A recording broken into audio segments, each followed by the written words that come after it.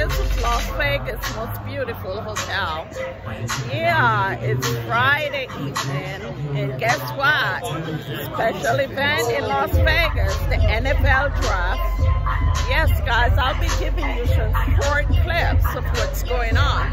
I guess I have missed enough today.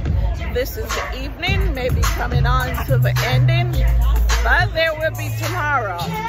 However, they're right in front of the Bellagio Hotel in Las Vegas. Yes, the crowd is coming down. So, enjoy as the night goes on. Yes, I'll be giving you a lot. You know that.